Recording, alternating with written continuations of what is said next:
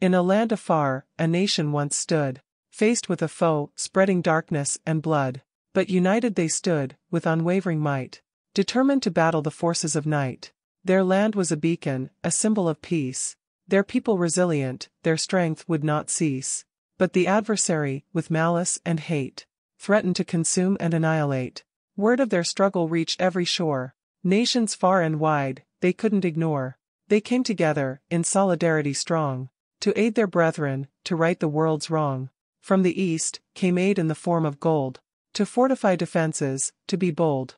From the west, came wisdom and knowledge, strategies devised to conquer the edge.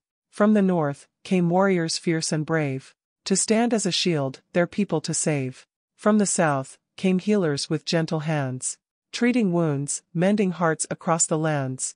Countries emerged, with different tongues, but a common purpose, as one they swung. Their diversity became their greatest strength, as they fought side by side, through the battle's length. Gold turned to armor, swords gleamed in the light. Flags waved in unison, their cause burning bright. Each soldier, each citizen, played their part. With resilience and courage, they held their own heart. Through valleys and mountains, they pressed on. Their determination never wavered, never gone. Days turned to weeks, weeks turned to years.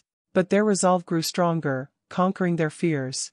And as the final battle drew near, a symphony of hope filled the atmosphere. Together they charged, with a resounding cry, for freedom, for justice, for victory's sigh.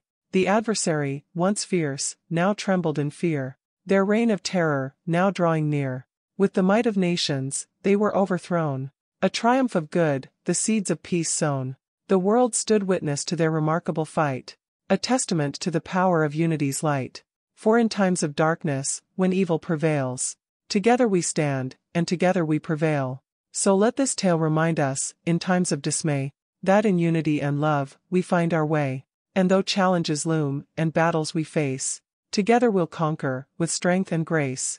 Let this story be etched in the annals of time, a testament to the triumph of the sublime. For when nations unite, bound by a common quest, the world becomes a better place, a sanctuary at best.